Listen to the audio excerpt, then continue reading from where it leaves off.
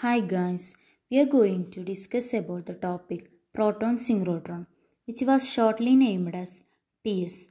This is contained in the MSc Module 3 Accelerator Techniques.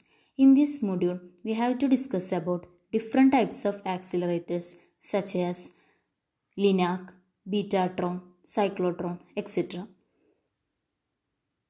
Before we are going to discuss about proton synchrotron, we want to know about what is a synchrotron. A synchrotron is an accelerator which can accelerate charged particles like electron, proton, etc. and giving energy of order of several hundred million electron volts. So it produces higher energies. So this is an accelerator. This is the definition of synchrotron. This is a schematic diagram of synchrotron.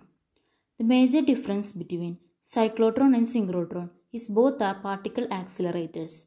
A cyclotron uses a constant magnetic field and a constant frequency electric field, whereas a synchrotron uses varying electric and magnetic field and can accelerate particles to much higher energies. Classification of synchrotron. Synchrotron are classified into two ways electron synchrotron, proton synchrotron. Here we shall discuss about the topic of proton synchrotron.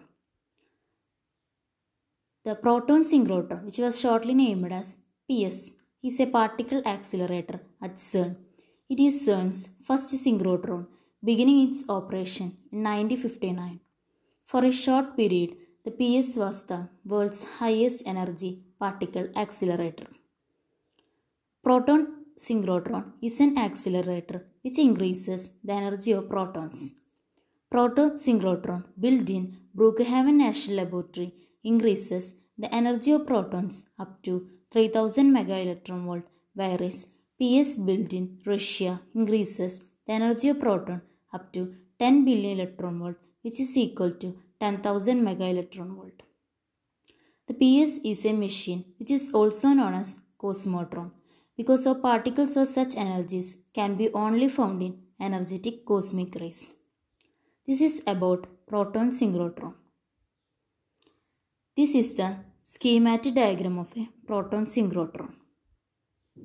And this design is known as racetrack design. Next we are going to discuss about the principle of proton synchrotron. The principle of proton synchrotron is essentially similar to that of electron synchrotron. Here the particles are protons. So the protons are accelerated along a ring-shaped orbit. The magnets necessary for behind and focusing are placed around the particle orbit. Here the magnets necessary for behind and focusing are placed around the proton orbit. The magnetic field are adjusted during the acceleration of proton from low to high value to match the increasing energy of particle and to keep the orbit is fixed. The protons are accelerated by high voltages across one or several gaps along the circumference. This is the principle of proton synchrotron. The principle of proton synchrotron and electron synchrotron are essentially similar. The basic difference is that here the proton, synchro- proton synchrotron, the particle is proton. The principle of electron synchrotron, which we have studied in earlier degree classes. This is about the principle of proton synchrotron. Next, we are going to discuss about the construction of PS. This is a schematic diagram of a proton synchrotron. This accelerator consists of a definite shaped vacuum tube known as racetrack. The racetrack is made up of four quadrant arc sections of constant radius connected by four linear sections shown in figure. These linear sections are used for injecting, accelerating, and ejecting the protons. The four quadrant arc sections are placed in between C shaped electromagnets. The protons of energy 1 to 10 megaelectron volt obtained from linear accelerator of Van de Graaff generator. The circular magnet, which are shown here by four arrows. This circular magnet is split into four quadrants. The four sectors of accelerating tube within these are joined together by four straight sectors free from magnetic field. These four magnetic field straight sectors with radio frequency oscillator, injector, target, vacuum pipe.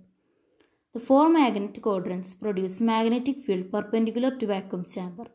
The most important component of proton synchrotron is a C-shaped ring magnet. Here a microwave cavity is seen. This microwave cavity are used to provide acceleration to proton beams. This is the RF source. And the injection of proton. This is the way in which the protons are injected into the ring from a linear accelerator or a Van de Graaff generator. This is the target where the high energy proton comes. The C-shaped electromagnets which is the most important component of a PS. This is the proton orbit in which the protons are revolving and produce higher energy protons. This is the RF oscillator. This is a schematic diagram of a proton synchrotron. And this design is known as racetrack design. This is the cross section of the ring. This is a small introduction of construction of PS. So, as I said, this design is called racetrack design and this accelerator consists of a definite shaped vacuum tube known as racetrack. The definite vacuum chamber is made of steel. The definite chamber is kept inside magnet ring. Racetrack is made up of four quadrant arc sections of constant radius connected by four linear sections.